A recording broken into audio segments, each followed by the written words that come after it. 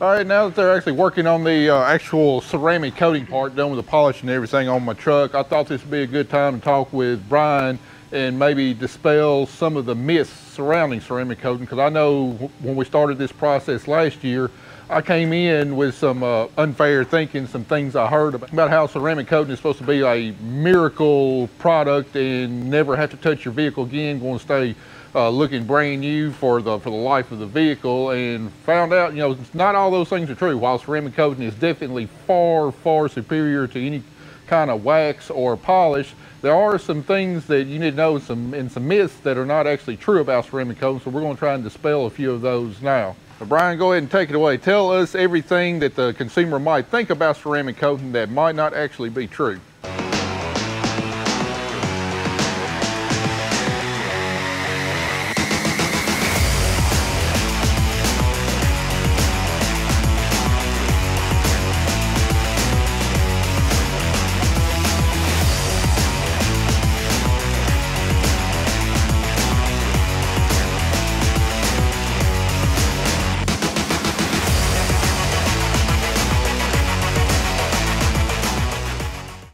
right, guys, today's a big day. We're gonna start making some equipment look like brand new. It's not gonna be me doing it. I've already done what I can to make this combine look good. Uh, Brian and his son from Front Row Detailing gonna be out here to uh, do some more ceramic coating. If you remember from last year, we had a tractor, a sprayer, and two vehicles uh, ceramic coated uh, last year. This year, we're gonna have our combine done, our other big tractor done and our water truck done, plus my new 2500 Ram done.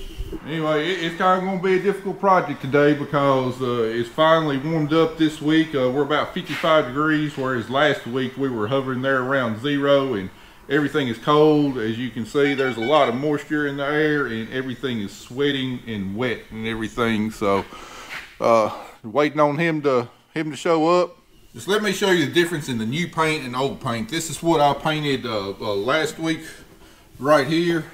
And then look right here on the side panel that's been waxed and maintained and everything. You see how much of an orangish uh, color it is, plus, you know, kind of dull and everything. So really going to be interesting to see if they can bring the, the shine and the deep dark red color back out on this combine before they put the ceramic coating on.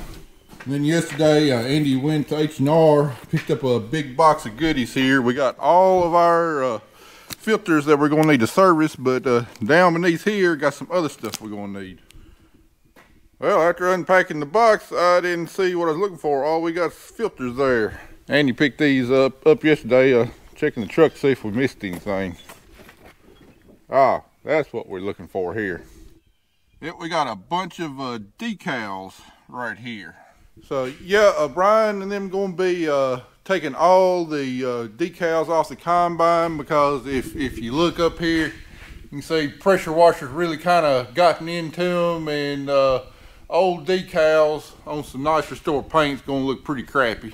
So the, the decals for this combine, fairly reasonable uh, price. So we got new decals we're going to go on with. So just want to take some good uh, video here so I know exactly where the decals go and we can put them back exactly like they're supposed to be. Good. Okay, it was literally closed all last week. All right, so uh, so what's your plan going to be, Brian? All right, so we want to attack um, the piece of equipment that you're going to use first, right? So we'll get the Blue Holland, the uh, the New Holland done first.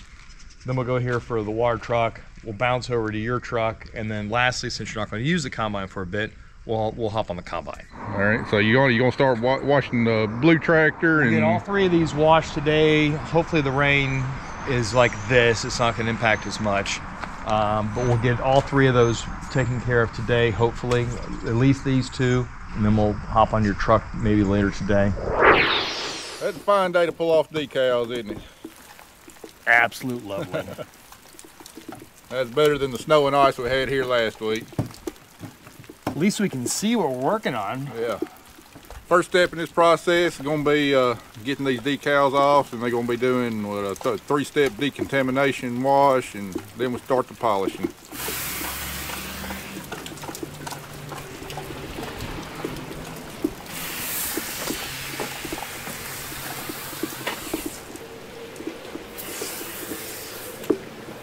All right, right now they putting the uh, iron remover on there. It foams on, and you see how it's pink right there. That's removing all the iron from the paint. Of course, we got a lot here on the wheels uh, coming here around the, the wheel studs and everything where we got got exposed metal.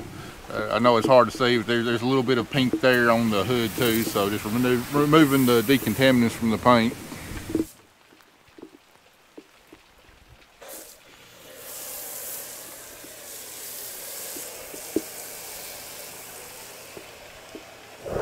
Yeah, so if you just look, you know, all through here into the, looking into the paint, you can see the oxidation is there. Man, this this unit's been decontaminated, washed, fully decontaminated. Well, just look at the difference in color where, where the stickers or where the decals were. It's a lot, a lot different right there. So when we're finished, all of this, you know, will match basically what was behind the stickers. And then any of that remnants, that'll go away as well even right through here, I don't know if you can up pick it up on camera, but you've got a lot of scratching from where this has been washed in the past, most likely, because obviously where this adds, this is probably not going to hit anything, but this is just wash media that's coming across here and scratching that paint. You, guys, you can really tell right here on the fender where it had the 50th anniversary sticker there. Look how much uh, fading that they're is right here on the fender. Of course, it's going to have a lot more direct uh, sunlight going going to it.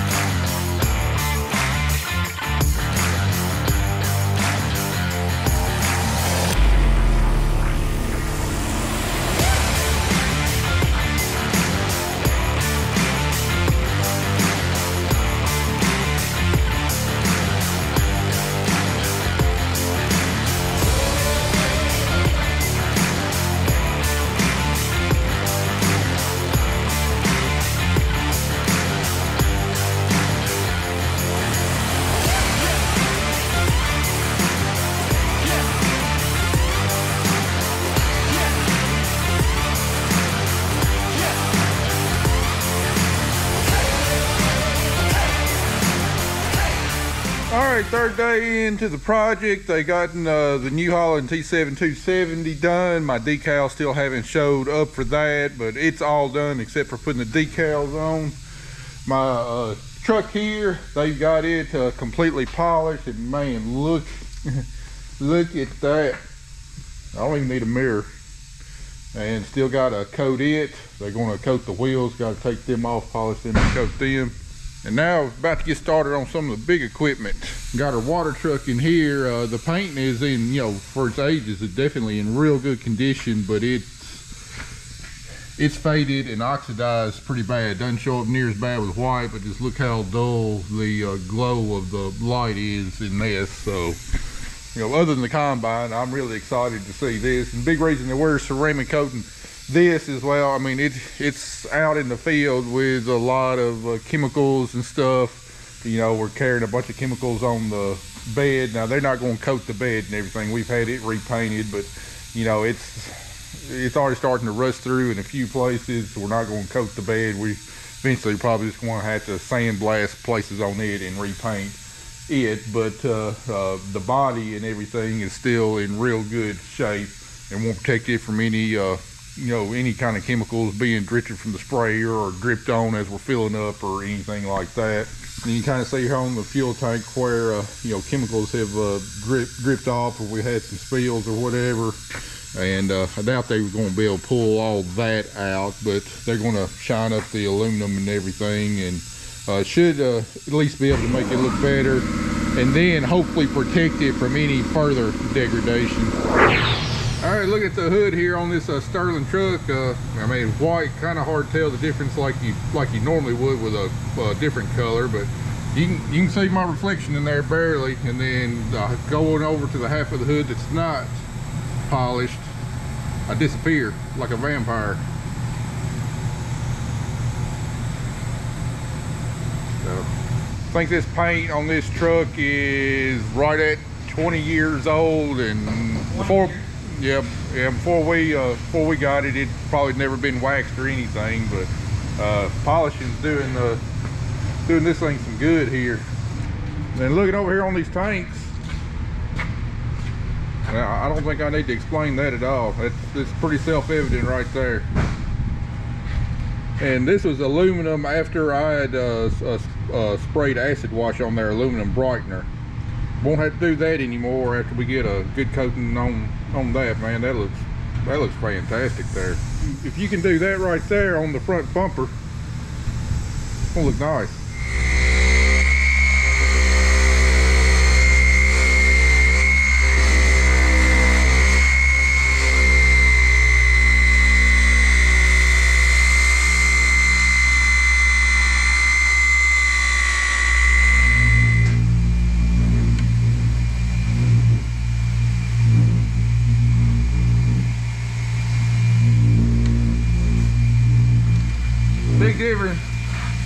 that bumper's in pretty rough shape. Got some pits and stuff on there. But uh, it's definitely a, a big difference from just over here.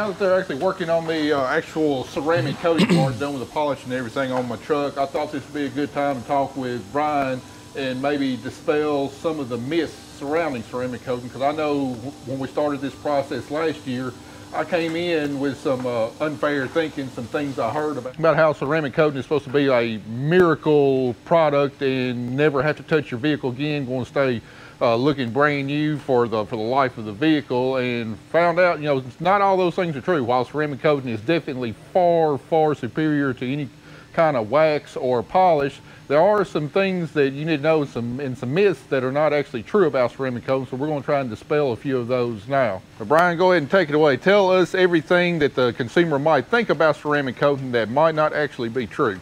All right so first off like matt said it, it is not a let's just call it set it and forget it. Um, you still have to wash your vehicle. I don't care if it's car, I don't care if it's tractor, I don't care if it's truck, anything that's ceramic coated, um, you still have to properly maintain. For example, uh, Opti-Coat, which is the, the line that we use, they have an entire maintenance line now that you can buy out on Amazon uh, for washing and deep cleaning, mineral um, MDR, the mineral deposit remover, and some other products that will actually help you maintain your coating so that it will last long. If you don't wash it, if you don't get the bugs off of it, let's just say you go down to Florida, we all know how love bugs are bad in Florida. Uh, on a typical car that's not ceramic coated, it'll eat through that wax fairly quickly. With ceramic coating, you get time, right? Instead of doing it, instead of going through the paint today, it might be next week, it might be the following week. I can't give anybody an exact answer. What I can tell people though is if you don't properly maintain it, like your car, like your body, your house, everything else that you should maintain, it ultimately will fail. Some coatings fail faster than others. Um, a lot of the coatings actually require um, annual maintenance. In that annual maintenance, they don't just clean your car for you, they actually put a top coat on it. So it really isn't a three, five, ten lifetime warranty.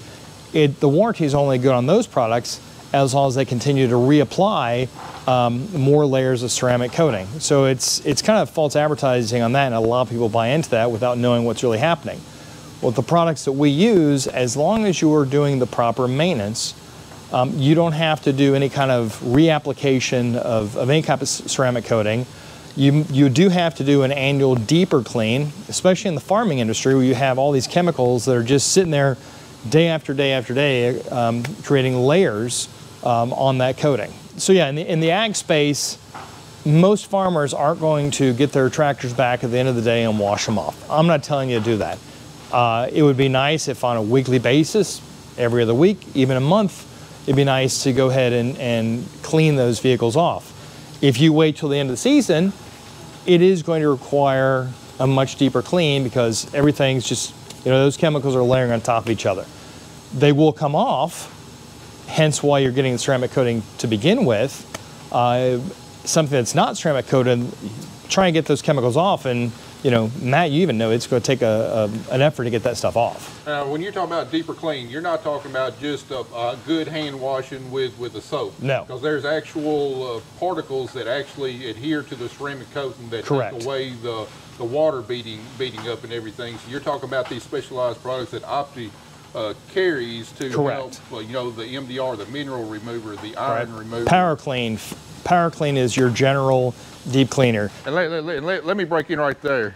I can vouch for Power Clean. I got it for my equipment this year, and I had been using uh, bleach white to remove like a lot of tough bugs, the uh, the stains from the cotton on the wheels. Uh, this Power Clean is by far the most superior cleaning product I have ever used. It will pretty much take anything off. It's, it's absolutely fantastic. Now, it's not cheap, but you want something that will do the job work with a minimum of elbow grease, Power Clean. I mean, it's, it's about it's about thirty dollars a gallon, I think. It's 30 $30 $30 a gallon and you mix it 50-50 with water. So it's definitely not one of your cheaper products, but you want something that works, get you some Power Clean. I ordered mine off uh, Amazon. Optics got their own store on Amazon and it'll be at your house in a few days. And a big note of caution when it comes to Power Clean: don't get it on glass in the sun. It will etch glass, uh, especially if it's straight. Power Clean can be diluted all the way down to 10 to 1. Um, so depending, you can clean your interiors, you can clean exteriors. It's a great general purpose cleaner.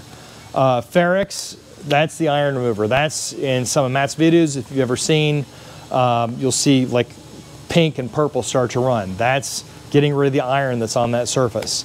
Um, and then the MDR we've talked about. MDR is something we're really going to use annually. That's going to be mixed together, uh, left on the surface, agitated for a little bit, and that's when that beating is going to come back because that really attacks uh, all the minerals that are sitting on top of the surface. Now, another expectation I had was uh, ceramic coating was going to be almost scratch proof. Now, we all know you take a key or a knife, even if it's got ceramic coating, it's going to scratch.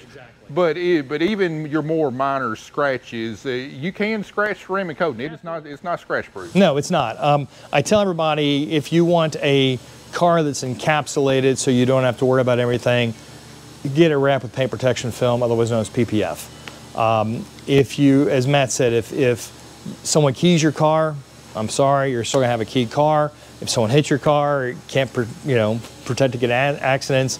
Uh, but for glass, for example, years ago there was testing done on an F-150 windshield where half the windshield was coated and the other half was not.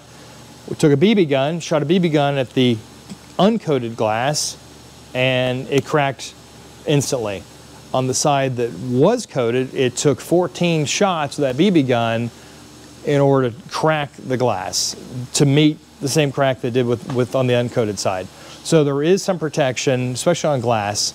Um, on on paint, is there some protection? Yes. Let's just take for example a Jeep that's going through the brush. I mean, everybody that drives Jeeps know when they go off road, they're going to get them scratched up. It's going to give a little more protection um, for those, you know, for, for something that's going along like that. You know, something that would leave that micro marring even that we talk about. It's going to leave give you some protection of that, but it absolutely will not give you the protection that a lot of people out there are selling, um, scratch proof, scratch resistant, whatever you want to call it. Now, I guess the last thing I really want to tackle is, is oxidation. you know, I was under the impression that oxidation is caused by sun hitting the paint. It, it occurs from the top down, and when you uh, do your polishing part and you remove the oxidation, then you coat it with ceramic coating. That's something you don't have to worry about again anymore. But as you know, over the past year, we've seen that that's not necessarily the case. It will slow it down. Okay. Are there instances where it doesn't come back? Absolutely. Are there instances where it does come back? Yes. As aggressive? No. So it's going to slow down that chemical process that's that's happening from the inside out. So I don't know. Every vehicle is different. I mean, we have a, a fifth wheel that's back in our shop right now. It's a 2020. It's worse than your combine that's sitting out there. You know, it every surface is different. Um, some surfaces, and, and if you're in Florida, Not, not only the surface, but, but the substrate. that Correct. The paint's on is different. where's it at? Is it in South Florida? Is it in Texas? Or is it in Minnesota? Are we talking about painted plastic, painted fiberglass, or paint, Everything. painted metal? everything. So it, again, there's not a one size fits all answer to that question of how's it going to protect against oxidation. Okay, It- are you storing it inside? You know, how are you using it? Are you keeping it clean properly? So there's a lot of things that, uh, a lot of things that go, a lot of variables that go into that question. So the bottom line is my video on this ceramic coating when we started this last year was, is ceramic coating farm equipment worth it? In my opinion, yes, it is worth it, but with understanding that it's not a miracle product, it's not a miracle cure, and you still got machinery that still needs to be properly maintained and properly serviced. Just like you're going to change the engine oil in your tractor, your vehicle, you also still need to properly pay, uh, you also still need to properly care for the paint and the ceramic coating to get the best benefit and the longest life out of it.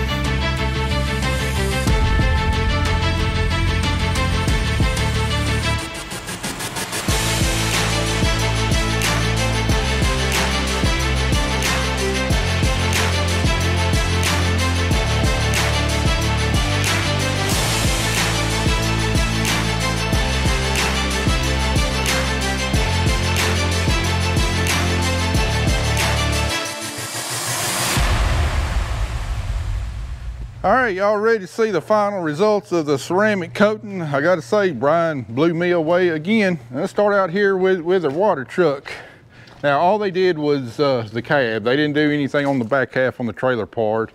And uh, I thought this was gonna be their second toughest project because this paint was really rough. Had a lot of uh, impurities on it and everything. And actually, this is several days after they got done. We've actually already used this truck in the field to put out our nitrogen, but it's really hard to tell from, from a white vehicle, but they did a fantastic job. That surface is slick and smooth, and if you catch in the right light, I mean, you can see a good reflection everything. You know, look what they did for the uh, tanks and the steps. I mean, you, you can tell we, we've already had to step up on there, but it looks great. The bumper, they was able to bring a lot of shine back back to it. Again, this truck's a 2004 model, so it's right at 20 years old. And of course, they didn't put the best paint coatings on uh, on semi trucks back then. You kind of catch in the light. I mean, you see, you see nice, nice reflection right there. I mean, it's just, it's slick as a pin. Now, a lot of y'all might think that, you know, why'd you spend that kind of money on, on an old semi water truck? Well, for one thing, the paint was still in pretty good condition. And the second reason is we plan on having this thing for a long time. We want to keep it looking as good as we can, as long as we can. And also, you know, it's out in the field spraying, working around, you know, potentially corrosive chemicals and everything. We, we just really want to give it that added layer of protection. Now, I'll recoup my money back out of it on this truck whenever we sell it. Uh, most likely not, but uh, anything I can do to protect my equipment, you know, I, I, I like to do because we're going to keep this thing for the long haul like we do most all the rest of our equipment. And before I show you the next piece of equipment, just want to give you a one year update on a sprayer that we had coated last year and she's still looking good, real good. Now the booms don't necessarily look all that great. I mean, they kind of get beaten, banged around. They got, uh, you know, corrosive chemicals uh, being sprayed on them, but I know the vast majority of it is protected good with a, with a ceramic coating. So all that money and labor we put in, what, two years ago, uh, getting the booms repainted, uh, even though we won't have that fantastic glossy finish on them, uh, I know we shouldn't have a problem with rust. Now we just got brought this thing out of the field uh, spraying nitrogen, so it, it's a little dirty. But looking here at side panels, you know, it's uh, in the hood, even though the hood's a little dirty, you know, we still got a real nice uh, mirror finish on it. All right, here's the uh, almost uh, finished project of my tractor. As you can tell, there's uh, no decals on there right now because the decals for this tractor had to come from England, so still waiting on them to be shipped, but as you can tell, I mean, look at that, look at that paint. I mean, a mirror finish right there just looks absolutely fantastic. Uh, can't quite remove all the imperfections. Look how scratched up the side panel is. And then the plastics, we kind of got a layer of dust on here because it's been several days since, since, since they done, done this, but really restored the plastics. Unfortunately, they, they couldn't do very much for the toolbox. It's really sticking out like a sore thumb, but uh, coated all the glass and everything. And we really found a big benefit in having the glass coated. Helps keep it a lot cleaner, a lot easier to clean up, and uh, uh, really, really repels water. But again, looks really, really awesome. I mean, this tractor is now, it's a 2015 model, so it's now nine years old and looks pretty much brand new. Now all we gotta do is just get the decals on it. All right, I know y'all like the tractor and the truck and everything. It all looks good and everything, but what you really wanna see is the combine. And I gotta say, out of everything that needed it, this is what I expected the most improvement in, and I was not disappointed at all. I don't know if the camera's picking up. You can see my reflection in it in it here now, and it's definitely got a, a depth to it that's just fantastic. I was really kind of worried uh, about whether they would uh, be able to bring out that bright red to look like new, or if the paint paint was too far gone, but I'm definitely impressed. They did a fantastic job on the polishing and it really brought that uh, bright red color the Case IH is known for and made it look about as close to new as possible. In fact, here's here's one of the spots that we repainted. Yeah, uh, it didn't blend as well as I wanted to. I started wet sanding it, just try and make it blend in, and you can kind of see right there around the edge you know, got the paint and started getting into the primer, got the edge smooth, but wasn't able to make it blend in. You know, in order to fix it properly, the whole panel would have to be re repainted. Still looks better than a, a, a, silver patch where the paint paint had come off. So it's not a brand new combine. It's never going to look like a brand new combine, but I think we did a pretty dang good job uh, getting as close as we could. And uh, the decals, uh, if you ever have this done to to your equipment, I, I, highly advise just have the have the decal stripped off and buy a new set. It really makes a huge difference. I wish we'd done that with the uh, New Holland tractor that we had done last year because uh, those graphics really look terrible on it on it now. But I'm super glad we took the decals off. We did have a few issues putting them back on. They're not perfect you can tell right there, we, we got a little bit of a wrinkle because we started drifting down and, and just tried to correct. And when you put on decals that long, It's really hard to keep them straight lined up while peeling off the backing and get them smoothed down to get bubbles and wrinkles out. It, it's really hard, but yeah, the new decals on it really make it. Now the feeder house and everything here that I painted, because the paint was so fresh on it, uh, they were not able to polish it, but they did ceramic coating, coat it. So realistically, I should have uh, painted it a little bit earlier. I wish wish I had to where they could have polished it. Maybe we would have gotten a little bit more glossy uh, finish on it. But I mean, the feeder house, it, it's going to get beat up. It's going to get walked on. But now I got the ceramic coating on there to keep it from fading back. So really excited, not really good. I'm not looking forward to carrying it to the wheat field uh, next June and getting it getting it dusty again. But uh, you know, if this performs like my other equipment did after we got it coated, at least it should clean up quite a bit easier. Uh, you know, whenever we get, get done with harvest. So doesn't look bad for 12 years old and 4,500 hours. I'd put it up against just about anything out there. So now that we got that done, it's gonna be time to uh, focus on the uh, getting it ready to go for another year, the few odds and ends we gotta do on parts and uh, making sure another 1,500 acres can go through it. And really not much to see on the Dodge. Yes, they did polish it, uh, but yes, I have driven it since they got done, so it is dirty. It's not really popping like it was like it was before, but but this sucker ought to be protected for the long haul too. So, well, guys, uh, having your equipment ceramic coated, it's definitely a significant financial investment in your equipment, and it's not for everybody. But uh, for those of y'all that are interested, I highly recommend you contact Brian at Front Row Detailing to uh, get your equipment done. I mean, depending on the size of the job, he will travel quite a distance. You know, they're based out of Huntsville, Alabama. I've known that he's gone up uh, as far up into Indiana before, you know, just depending on how big the job is and whether it's worth his while. But I know he services pretty much all the Mid-South and a lot of the Southeastern states. So if you're in that, uh, so if you're in that area, I got his contact uh, information down in the description below. Be sure to uh, be sure to call him up and uh, I know there's a lot of different outfits out there you might see on Facebook offering the services, and I don't know much about them, but I know what kind of job Brian does, and they are just absolutely meticulous on their preparation to make sure you get the best result possible. However, I will say that your results may differ from equipment to equipment or even fender to fender on your equipment, just depending on what the underlying substrate is, how bad it's oxidized. Uh, we did have to have him come back out yesterday and redo the hood of our sprayer because oxidation came back out in it and he came back out, no charge, fixed it back up, put a double coat on and it still looks fantastic. So I will, I, I do know that he does stand behind his services and his in the product that he applies. If you ever have any kind of problems, he will pick up that phone and he will take care of you, or at least, or at least, he has for me. So anyway, guys, I hope that answers a lot of your questions. Uh, hope it makes your decision a little bit easier if you're looking into this process and appreciate y'all watching. We'll be back in the next one.